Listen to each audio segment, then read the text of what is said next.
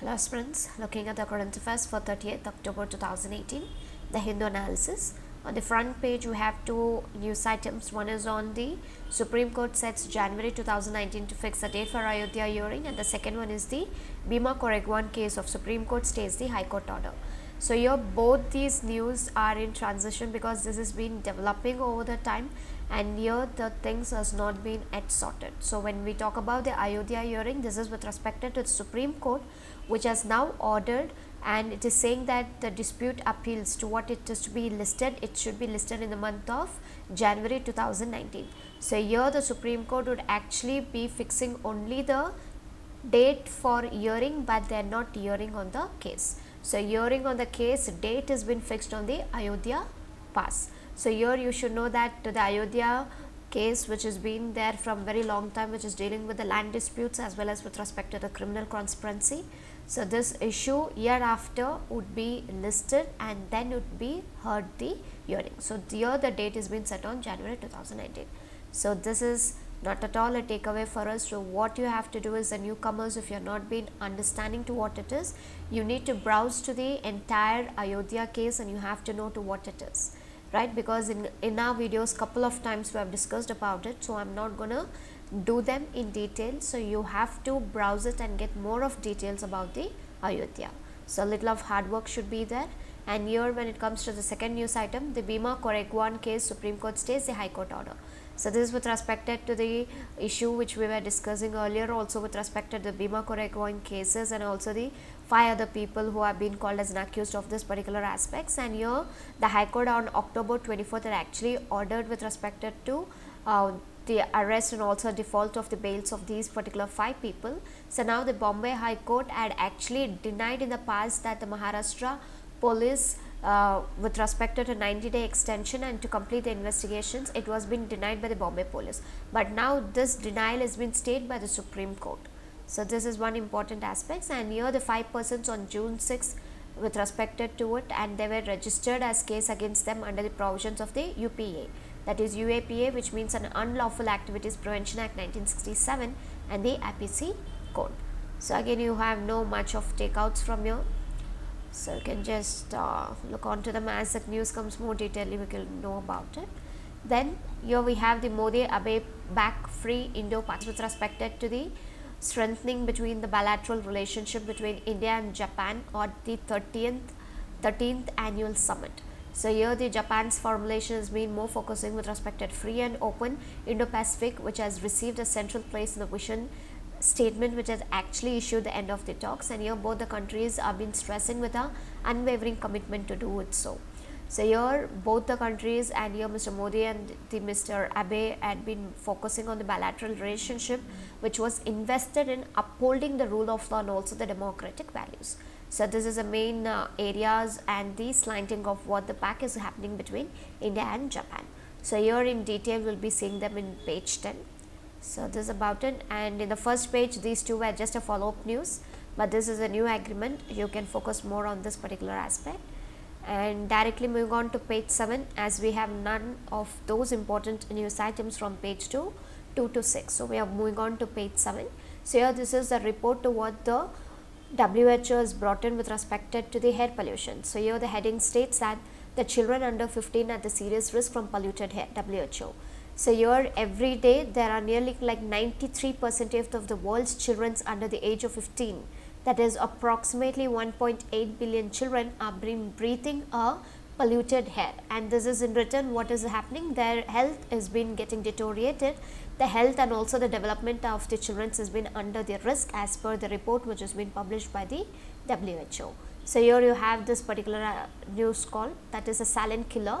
Uh, air pollution affects the neurodevelopment and cognitive test outcomes and negative affects the mental and the motor development. So, this is one of the effects on the neurodevelopment and also on the cognitive test.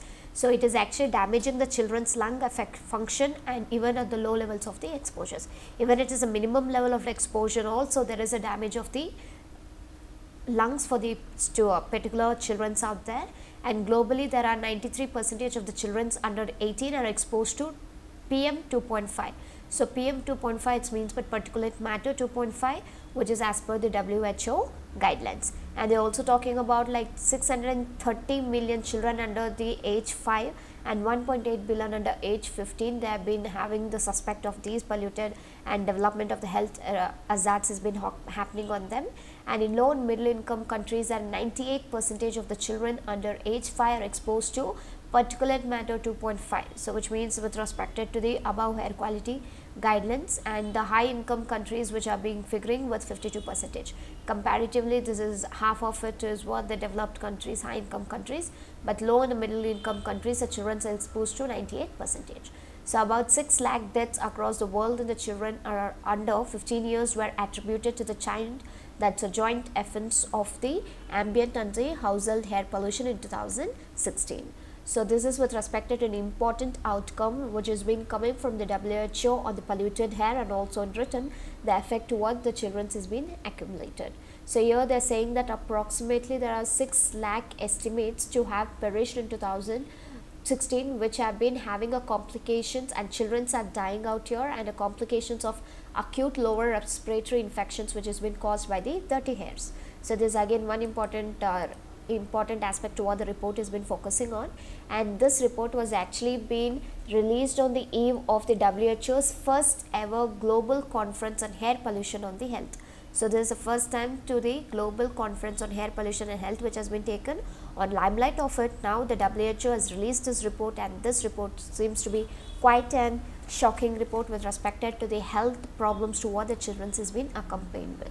So, this is about it and apart from that the pregnant women are also been exposed to the polluted air because here they might be giving up with the premature that the birth prematurely and also the they might have a small or a very low birth weight of children. So, this is also associated with respect to the air pollution and here it is with respect to neurodevelopment to what we discussed out here and cognitive ability which has been actually triggering to the asthmas and also the childhood cancers as well. So, number of cancer cases is also been registered with the air pollutions and also there would be a high number of cardiovascular diseases which would be later over the time which would be found in children as they have been more exposed to the high levels of the air pollutions outdoor. So, this one important uh, takeaways out it and apart from that you should know that why are children more susceptible when it comes to the uh, when we have to compare it to the adults. So, here, here the children would be more vulnerable because with respect to the air pollution because they breathe more faster than to the adults and they also tend to absorb more of the pollutants when compared to the adults.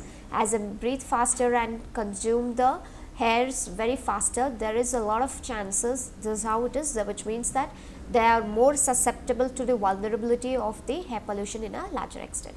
So, there is one important uh, closed circuit to what they have done on the child's uh, health hazards to why they have been exposed very faster. And apart from that you should also know the indoor problems like uh, in the family in the cooking areas and all they burn the fuel the wood kerosene for cooking health or even for the lightning. So at this point of times the children's and the indoor that is women's and newborns and the small children's have been exposed to more of the air pollutions at the high levels of the pollutions so taking this now the children's and the newborns are also more susceptible to it where this indoor air pollution has been making them to be more vulnerable when compared to the other elders. So, this is also stunting the child's brains which is affecting the health in more ways than we actually suspected is what the WHO ministers and other directors have been talking about when compared to the other things this has been stunting the brain of the child and they're also been uh, affecting the children in many other ways. So, this is the report which has been given by the WHO to what extent is air pollution which is deteriorating the health of the kids and also the newborns and also the smaller kids because of the rapidly inhaling of the hairs. So, this is about it. So, this would be helpful for you all to talk more about your essays and general studies and this plays a very important role under your preliminary examination and your GS paper 3 as well. So, this becomes important and here you have the Delhi Topsy National charts in the bad air quality. So, here if you see the Delhi was with respect to leading as of now. So, this is with respect to 14 out of 20 most polluted cities in the world are in India. So, when we have to compare it with the world then out of 20, 14 such cities have been located in India which has been a polluted cities. There is again a report which has been released by the WHO that is World Health Organization and here, here the climate trends have been taken up with the 14 states where they want to analyze the CPCB that is a central pollution control Board data in summer and also the winter months for the comparative analysis. So, at the same time here they are also done the analysis and this is how the chart is been showing where Delhi is been topping with respect to the bad hair quality.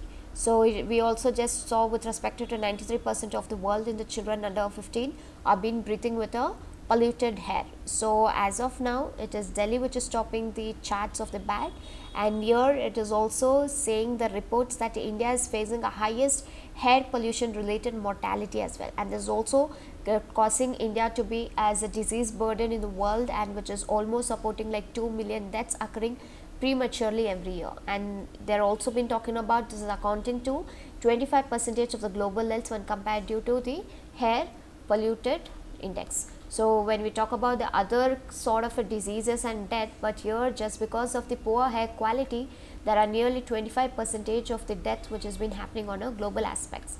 So, this is one important thing and here they were also talking about it is not more than 20 percent of the days the data was not available during the October month of 2017 and 18. So, there was certain deficit because the data sets and what is being important to note there was a 20 percentage of more to what is being set it out here because sometimes the data would not be available on set days.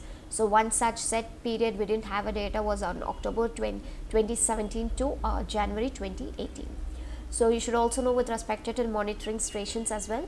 So, here apart from Delhi, there in India most of the cities that having an online monitoring was happening with less than 4 monitoring station and the place like Srinagar they did not had any of them. So, here Delhi alone has a close to 40 monitoring stations that would be display the data on online on a everyday basis so that the assessments would be done. So, this is with respect to know the emergency response plan to tackle the air pollution. So, one important aspects, but again Patna and Varanasi are also recently formulated an action plan, but they were not under the issues with respected. They they were not being put on to the source and they were not having any mitigations levels to the pollutions as well. As in case what we have it for the GRAP, that's a graded response action plan which is as per the report. So, this one important area where the monitoring stations were also being not up to the mark to even give them the information to how is the air quality is out there. So, this was one important and again they were talking about the summertime pollutant too. This year was rampant as the regions around the Delhi and NCR are actually expected dust storms coupled with problems of the pollutions at the local levels. So, this is with respect to the uh, you know summertime pollutions with respect to what they have to get it as in uh, part uh, in this year it was with respect to the Delhi and NCR they have been expected to have a dust storm. So every year we have a problem with this but this is again on the summer pollutions also which has been happened to this particular years. So this is uh, both these uh, goes hand by hand with respect to it. So this is about it. So know about it because it's also very important when it comes to your preliminary and also your GS paper 3 right. So this is about it. And the next news item is with respect to the PM to unveil the Patel statue. So, this with respect to Prime Minister Narendra Modi who would be unveiling the Sardar Patel on the birth anniversary of Mr. Sardar Patel on October 3rd and this statue if you see here this statue would be called as a statue of unity because uh, he has been the person who has been strived hard for the unity of the nation. So, you have to look on for your history to understand the person's contribution because this is very important when it comes to GS paper 1 where they are talking about the contributions of the different, different personalities. So, since now it has been Mr. Patel statue which has been unveiled and which has been called as the tallest statue in the entire world, you have to know about Mr. Patel's contributions to the India's freedom struggle and the project cost is almost like 7 3000 crores. So, this is actually rupees 3000 do not read it at 73 it is 3000 crore project only right it has been funded and most of them are being coming from the Gujarat government, but the minor contribution you can also see from the center and the central PSUs. But the majority of it is from Gujarat, but three is what you have to take into consideration one is Gujarat, then the center as well as the central PSUs. So, this is about it and your uh, apart from that few more takeaways to what you can do is with respect to the statue. This is made up of like 1700 tons of bronze and uh, 1850 tons of bronze cladding, cladding and 70,000 meter tons of the cement and 24,500 meter tons of steel. anyways this is not required for us but you can know that tons of bronze so could be because last year if you see there was a question asking when how was the architecture and what was the stones and the materials being used? So might be near future you might get such questions. So no it is with full of bronze. And this is with respected to the river Narmada. So this also you should know that it is on to the river Narmada. So this becomes important again and there are there are also two high speed elevators. So here uh, they can take the tourists with respect to 200 visitors and from there they can go on to the chest of the statue. From there they can have a look on to the Sardar Sarovar Dam and also the Narmada river as a view. So this is about it. So anyways tomorrow you'll be having in detail about it so you can get to know them. So this was with respect to your news part the editorial this with respect to time to talk that is center RBI phase off is not healthy. So this with respect to a board meeting was being asked between the center and RBI. So there were 20 such uh, issues to agendas to what they had to focus on but they had been turned up with only 3. So that is the issue out here and again in the business column we have this, we will see them in detail.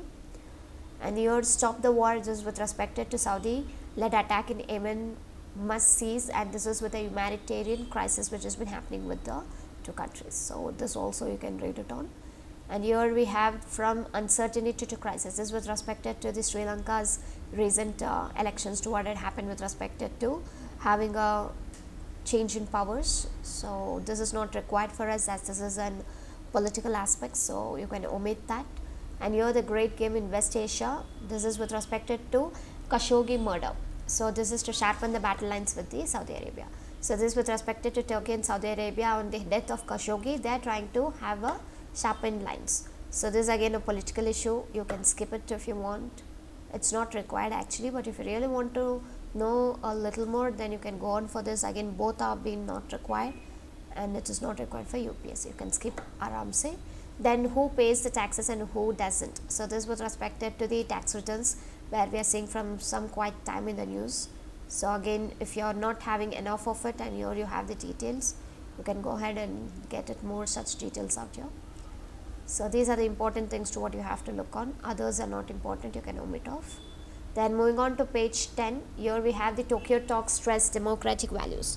So this with respect to the Japan and India were coming up with the 13th bilateral summit meet where they're coming up with more of the intense uh, no you know connections with India and uh, Japan. So here the investments is between up countries which is for upholding the rule of the law and the democratic values in return. So that's one thing and here both the countries are also been showing the willingness to expand the concrete cooperation with US and all the other parts as well. So this is uh, not that important. So you can just look on to this particular aspects that it is willingness to both the countries to expand the concrete cooperation with the US and the other parts and this would also be setting up ensuring the freedom of navigation and the importance of the UNCLOS. So, you should know that it is a United Nations Convention on the Law of the Sea. So, as per that they are ensuring the freedom of the navigation because you can see that the conventions with respect to China is being more into the South China Sea. So, this has this is also one of the aspect to what they would be referring to be looked on for and here they are also been announcing for the start of the negotiations of the acquisition and the cross servicing agreement and they are also coming up with a logistic sharing pact. So, year after the Japanese ship they would be getting a fuel and servicing at the Indian naval base as well. So, this with respect to self defense forces will also be able to secure the access to the Indian naval facilities in the Andaman and Nicobar Highlands and this is strategically located to the western Malacca Strait. So, this is the position of it and here this becomes a part of your geography as well as the bilateral relations as well. So, it is better to locate where is Andaman and Nicobar then Japan and India in between what are the things and seas and other aspects and Malacca Straits as well. So, this you should know and uh, they were also talking about like a dialogue which was between USA and uh, India the 2 plus 2 dialogues so, that is with respect to ministry dialogue and they were talking about it and they were also been talking very importantly on the agreed of the bilateral swap arrangement that allowed their central banks to exchange the local currencies for up to 75 billion. But if you compare it with China, and Japan they had only 30 billion of the currency swap arrangements. But with India, Japan has come up with and India and Japan has signed for 75 billion swap. That's a bilateral swap arrangements in terms of the currency. So, this is about it and they were also believing that uh, 70 I'm sorry 57 Japanese companies have been investing at 320 billion yen in India so that they have been expected to create as much as job opportunities that to a new job opportunities for 3000 people. So, this is one important areas to where it would be increasing where the companies from the Japanese are would be investing in India and that would be seeing a new jobs in India as well. So, that the unemployment can be taken out to some extent. So, this is about it. So, only the important things like uh, upholding the rule of law like to make your answers more specified then browse and get more details on United Nations Convention on the Law of the Sea. This you can work it on. Then you can look it on to what is a bilateral swap arrangement because any which ways these news would be year after coming more so that I have to do my job again. So, before that it would be better for you all to understand what is the bilateral swap arrangement. So, deliberately I am not explaining this kindly know what is a bilateral swap arrangement right. So, with 75 billions wherein uh, Japan and China they have come up with 30 billions and also creating 3000 new jobs. So, this is about it. It's not a very prominent news and this is with res respected to the tragic on Monday. So, which is with respected to the Lion Air flight JT 610 traveling from Jakarta to the Pangkal Pinang on highland of Bangka so which has actually lost a contact with and it had been uh, no 13 minutes takeoff and which has been uh, resulted in an accident. So the timeline is out here you can look on to them.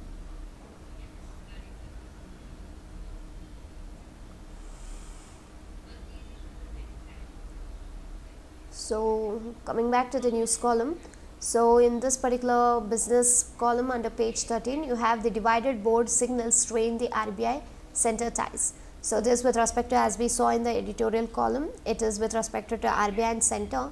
As they moved on for a board meeting, there was a stormy of affairs of things which has to be discussed on. They had 20 items to what they have to put on for a discussion, but end of the day, they had only three discussions being done and this would had actually abated without an arrival to a decision. They have not come on to a decision, but any which ways the problem of the issues were not been sorted to the best or out of 20 only 3 were being discussed. So, one important aspect what they discussed was the PCA that is a prompt corrective action. So, this is a framework of the RBI and here there essentially were certain restrictions or on the banking regulation. So, this PCA is putting the regulations on the banking and it had imposed on the banks due to worsening capital. So, here the PCA would be on the worsening capitals of the banks and also at the same time asset quality and the profitability. So, if any ba bank if they breach a particular threshold on any of these parameters then the restrictions would be imposed on them. So, this is on the PCA and this was also being discussed to what extent to be done is it true or is it bad what is the issues with respect to this was being discussed and secondly is with respect to capital norms this is with respect to the board of members have they been talking about diluting the risk which has been thresholding with the relating to capital. So, here the capital norms for the Indian banks were a lot stringent than what it has to be compared with the Basel norms prescribed. So, the Basel norms prescription is about 9 percent of the capital adequacy ratios compared with 8 percent requirements of the Basel norms, but if you see your India's would be around like 11 percent, it is going more than 9 to 11 percentage. So, this again 11 percentage is been on the CRAR, but again this with respect to saying that it has been lot stringent when compared to the Basel Accords. So, this is the one important thing, but however the officials from the RBI they said that the NPA provisions uh, norms for India banks are less stringent than what it is to be from the Basel norm. So, they are trying to justify it and presently there are 12 banks, 11 is the public sector and 1 is the private sector and all of them would be coming under the PCA framework. So, this again uh, you know more of details on that and here at present the RBI board has 18 members which would be including a financial services secretary. So, you know that the RBI board would be having around like 20 members and more, but here the board members would be with respected to 18 out here and 4 would be the deputy governors who are also there on the to the boards. So, this is with respected to it and here the other issue to what was pertaining was the stressed asset classification which actually been mandated by the RBI on February 12, 2018. So, they actually there was a circular which was being formulated by the RBI and here the year they wanted to scrap all the existing restructuring norms and they are actually asked to start all the resolution process if the loan payment was under overdue even for a day. So, even for a day if it is an overdue the RBI was scrapping and it was calling for a resolution process if the loan repayment is not being done. So, immediately it used to call. So, this is with respect to one important uh, issue to what they discussed on and apart from that the contentious issues of the RBI's surplus transfer. Here the government was talking about that the RBI was dipping into contingency reserves as it was not giving and it was uh, not giving the highest weightage to the government, but here the central bank had actually uh, not been uh, okay and it was not agreeing on this particular proposal to transfer as most of surplus. So, it was not happy about it and here the RBI deputy governor that is Viral Acharya he was also highlighting the differences between the RBI and the government and he was also talking with respect to pinching the autonomy of the central bank. So, the governments uh, they are not respecting the central bank's independence but, uh, but definitely they would be getting wrath of the financial markets and this might ignite the economic fire and also come due to the day they are be undermining an important regulated institution. So, here the uh, deputy governors of the RBI they have been smelling something bad was going to happen to the economy in larger extent and there's very bad move and then they will be analyzing the importance of the regulatory institutions. So, this with respect to what they have to talk about it and they were also telling that the counterparts who invest in the central bank independently will enjoy the lower cost of the borrowings in return. So, the love of the international investors and long lifespans should be taken into considerations in a larger extent. So, this is about divided board. So, here you can read this part as well and you can go on for your editorial which is again talking about the RBI and center ties. So, this you can look on. Then moving on to the next news item, this with respect to the India and Japan signed 57 billion currency swap agreement. So, as what we saw earlier in the beginning of the paper, the same thing is there. So, here with respect to they have signed an contingency in sense a currency swap agreement which has been a worth of 75 billion as compared with China and Japan they had only like 30 dollar billions of the currency swaps. So, here the currency swaps is actually involving the exchange of the interest and sometimes of the principal in one currency for the same in the another currency. So, this is about like the currency swaps which means that they involve the exchange of the interest and also they would be talking about the principles of one currency for the same in the another currencies as well. So, here the interest payment are being exchanged on the fixed dates through the life of the contract and here they were also talking about this would be this is an important measure which would be improving the confidence of the Indian market and this will be enabled to come up with a proper agreement which would be available to India, but also at the same time bring down the cost of the capital for the Indian entities. So, Indian entities cost capital can also be brought down to a larger extent and this would also access a foreign capital market as well. So, here they are looking on to have more of stability in terms of aid in bringing the greater stability to foreign exchange and the capital markets in India and the government will be more focusing in respected to tapping the foreign capital of the country's development needs. So, these are the advantages to what happens with respected to the swap deal to what had happened with India and Japan. So, this is about it and your question for the day is respected to what is a swap agreement. So, you can write your answers under the comment section with respect to what is a swap agreement. So, this is about it and these were the important news items which has been picked up from 30th of October 2018. Thank you.